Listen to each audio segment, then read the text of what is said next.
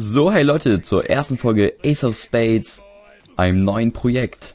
So, also Land ist ja jetzt beendet, das heißt, wir spielen jetzt dieses nette Spiel. Und zwar ist es ein Kreativ-Shooter. Ihr seht schon, es sieht sehr ähnlich aus wie Minecraft. Und es ist auch wirklich ähnlich, denn ihr könnt, es ist nicht nur ein normaler Shooter, wo ihr einfach nur eure Gegner abschießt, ihr könnt auch bauen und abbauen. Zack. Haben wir mal was abgebaut. Und ich finde das Spiel wirklich ziemlich witzig. Und ich muss auch sagen, am ersten Tag, als ich es gespielt habe, ich muss es sofort. Boah, ich habe das ewig gespielt mit einem Kumpel zusammen. Da haben wir richtig lang gespielt und es hat so einen Spaß gebracht. Und da dachte ich mir, Moment mal, das Spiel bringt so viel Spaß wie so Let's Play, das nicht einfach. So. Und deswegen wollte ich das als neues Projekt jetzt anfangen. Und es ist auch nicht so wie andere Shooter, also dass man einfach nur, dass einfach nur ums Töten geht, sondern das bringt auch richtig Spaß. Also das ist, man kann auch bauen und abbauen und ist quasi wie Minecraft. Nur halt als Shooter. So. Wir haben jetzt übrigens hier so einen Bergarbeiter, so ein Bob der Baumeister mäßig. Und dann müssen wir versuchen, wir sind jetzt gerade Team Blau. Und dann müssen wir jetzt Team, äh Quatsch, wir sind Team Grün. Nee, wir sind Team Blau, oder? Ja, wir sind Team Blau und jetzt müssen wir Team Grün ausschalten. So, ich habe eigentlich Team Grün gewählt, aber so, das ist die blaue Base. Aber naja, das ist halt, wenn zu viele bei Grün reingehen wollen, kommt man halt zwangsweise zu Blau. Und da hinten ist ein Grüner. Nein. Oh, da haben wir gesehen, das hat jetzt nicht geklappt. Ich dachte einfach mal, ich mache jetzt einfach mal so einen schönen Headshot, aber hat doch nicht geklappt. So, naja, Neustart. So wahrscheinlich wieder der typische Vorzeigeeffekt, aber ich sehe ja auch niemanden aus meinem Team, muss ich ehrlich gestehen. Eigentlich sieht man hier immer tausende Leute rumlaufen, aber irgendwie jetzt, ich sehe hier wirklich gar keinen. So, ach ja, oben rechts haben wir noch eine Minimap, da werden dann ein paar Spieler angezeigt. Gleich werden wir, glaube ich, jemanden begegnen nach der Minimap. Und irgendwo muss er hier sein. Hier auch so ein ähm, Spitzhackenhacken. Ich glaube, der macht hier gerade Sachen kaputt. Ja, es gibt auch Leute, die äh, machen hier nur Sachen kaputt. Muss ich, muss ich ehrlich gestehen, habe ich am Anfang auch gemacht. Ich zum Beispiel die ganzen Brücken zerschmettert oder die Türme hier, weil es einfach total witzig ist, wenn man hier einfach so zack. Hä? Eigentlich müsste der jetzt fallen, naja, Baum fällt so mäßig. Naja, ähm, der war wohl noch mit irgendwas anderem verbunden. Man kann die ganz einfach so, Baum fällt und dann fällt er. Zack. So, aber das ist ja nicht der Hauptaspekt des Spiels, wobei das auch immer ziemlich witzig ist, wenn man irgendwas kaputt macht. Man kann auch Sachen bauen, dann haben wir hier so eine Klötze, aber ja, das können wir später mal machen. So, den Zwerg, den mag ich gerne, weil er tolle Waffen hat. Und zwar einmal das hier. Das ist so ein Gräber, da gräbt man sich durch so eine ganze Erde und er hat halt die Schaufel. Oh, da haben wir einen Kill gemacht, unseren ersten Kill. Und ja, den brauchen wir dann nicht mehr zu killen. So, haben wir also schon einen Kill. Ist schon mal ganz gut. Und wir sind nicht allein. Hier ist noch ein Kumpel von uns irgendwo. Hier müsste der sein irgendwie auch immer der jetzt sein mag. Auf jeden Fall holen wir uns mal neue Waffen. Die finden wir hier. So, aufgeladen. Ja, es fallen immer ab und zu so vom Himmel so eine Pakete. Und da sind dann entweder Waffen drin oder ähm, ein Heal Pack oder halt Klötze, Bauklötze. Womit wir dann mehr bauen können. Das war jetzt dumm. Okay, da war ein Gegner, wir sind gesprungen, weil wir Angst hatten und dann ja, ich habe das jetzt nicht einkalkuliert, dass wenn man runterfällt, dass man dann ja auch noch Fallschaden bekommt. Aber naja, soll ja realistisch, realistisch bleiben. Und hier jetzt schon der erste was gebaut. Da so einen kleinen Bunker. Können wir noch mal ein bisschen verfeinern hier. Zack. Naja, also wir können auch bauen. Wir wollen. Wir können auch hier die ganze Brücke zerschmettern, wobei ich den Sinn dann nicht verstehe.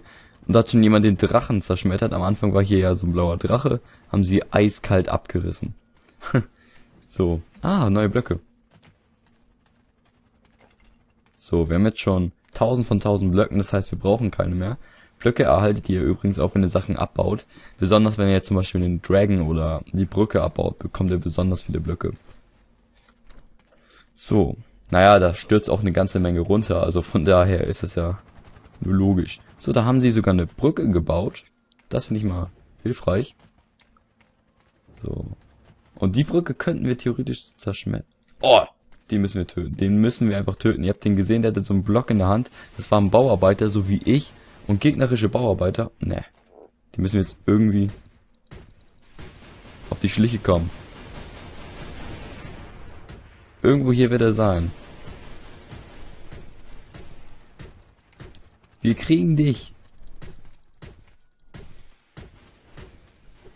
Ah. Ah, nee. Er ist hier hochgegangen, okay. Ja. Man muss sich erstmal ein bisschen auskennen.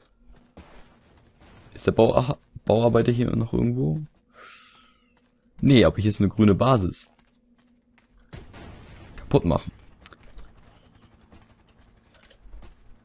Tatsächlich, da war jemand.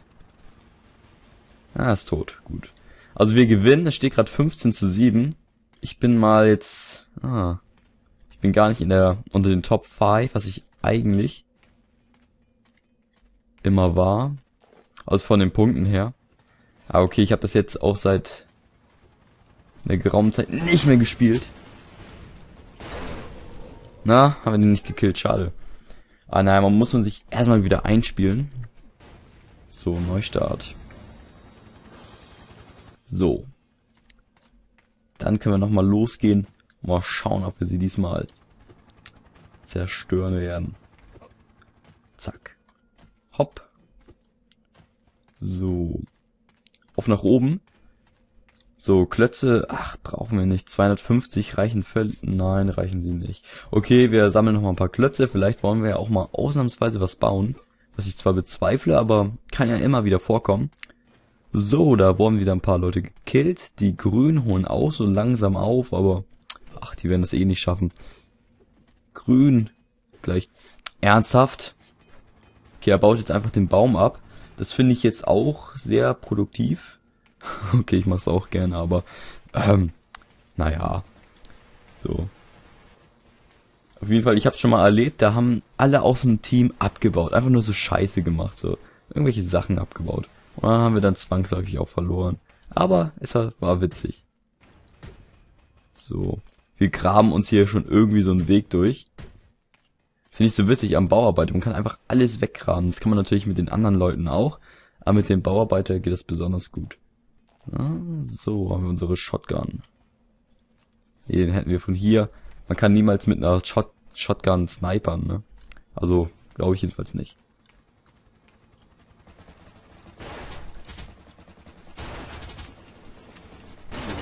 Ah, oh, schade. Oh, die Raketenmänner, die sind die größten Gegner der Bauarbeiter, weil die sind einfach, die haben eine Minigun, beziehungsweise damit können sie sehr schnell schießen. Die haben so eine Schnellschusswaffe und ähm, sie haben Raketenpack. Das heißt, sie können fliegen. Deswegen, die sind dann besonders gefährlich und sehr viele Leute nehmen die auch. Wenn man mal so guckt, die Leute nehmen überwiegend die Raketenmänner. Sind auch wirklich gut, also nur zu empfehlen. Allerdings nehme ich doch lieber den Bauarbeiter, weil ich den eigentlich persönlich cooler finde. So.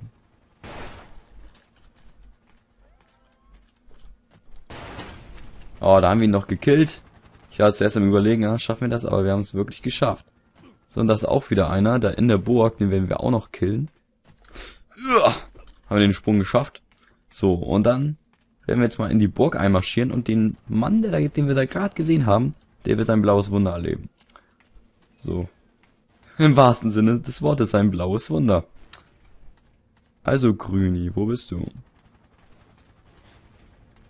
Ja, anscheinend ist er schon abgehauen. Guck, das meine ich, sie können fliegen. Und wir haben ihn gekillt. Haben wir einen Raketenmann gekillt, so als Rache, dass uns vorhin gekillt hat.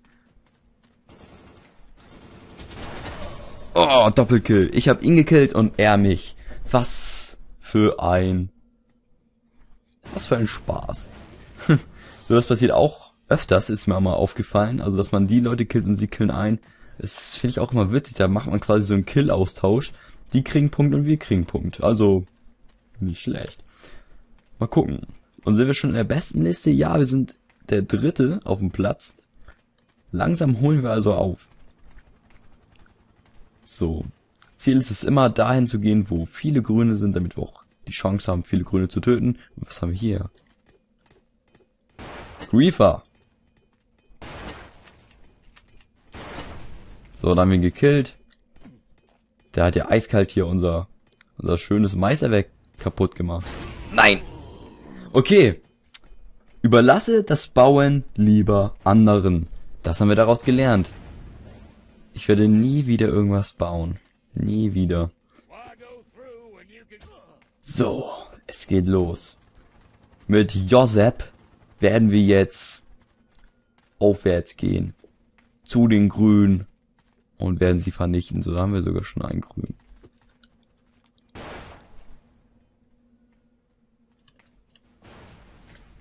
So, wurde ich jetzt getötet? Ich glaube, der wurde jetzt getötet.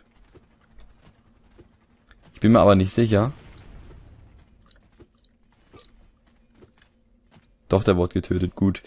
Da haben ihn wohl doch andere getötet, schade. Naja. So, ähm. Mal gucken, ist hier wieder irgend so ein Penner? Nee. Was haben wir gelernt? Überlasse das Bauen anderen? Okay. Nein! Ah. Jetzt sind wir doch eiskalt ins Wasser gesprungen. Ist aber nicht schlimm. Wir können uns einfach hier nach oben graben. Oh, das hat so, haben sogar schon Leute gemacht. Das finde ich mal nett. Wenn wir jetzt so einfach da reingehen. So, Dankeschön.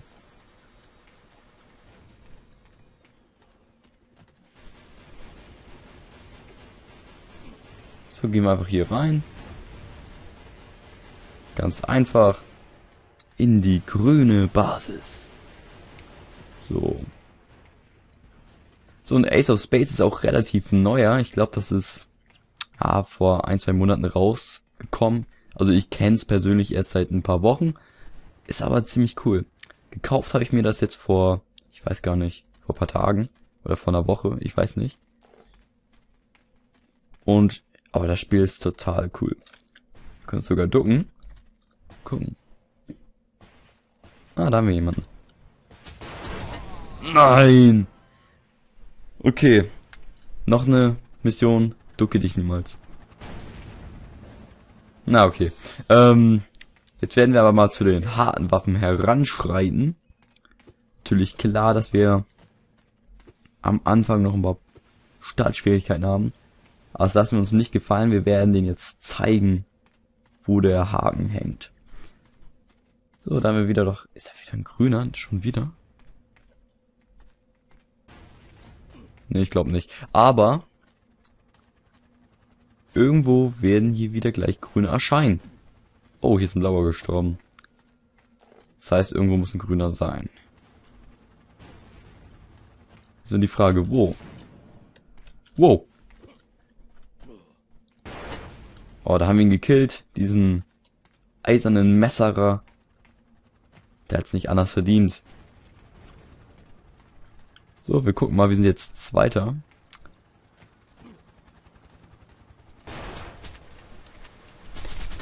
Nein. Oh, da waren sie zu zweit. Und ich konnte es einfach nicht schaffen.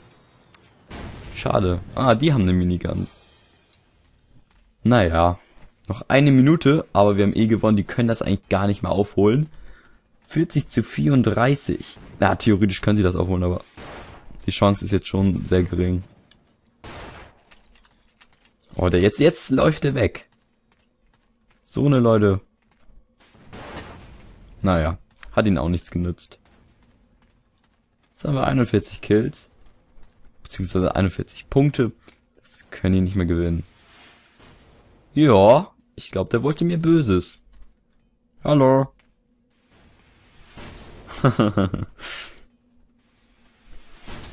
oh, jetzt hat er mich getroffen. Okay, ich sollte ihn, glaube ich, nicht herausfordern. Der ist doch härter, als ich dachte. Hi.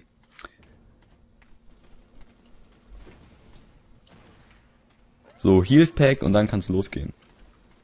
Den machen wir jetzt kalt. Nein, ich wollte ihn gerade töten, aber naja. So, wir haben gewonnen im Team Deathmatch. Blau 41 zu 36. Das ist eigentlich mein Sieg. Und das war auch die erste Folge von Ace of Space. Ihr könnt mir jetzt sagen, wie fandet ihr es? Ähm, fandet ihr es gut und werdet ihr es weiterverfolgen? Also ich finde das Game auf jeden Fall ziemlich cool. Und das war's dann auch erstmal von mir. Macht's gut und bis zum nächsten Mal.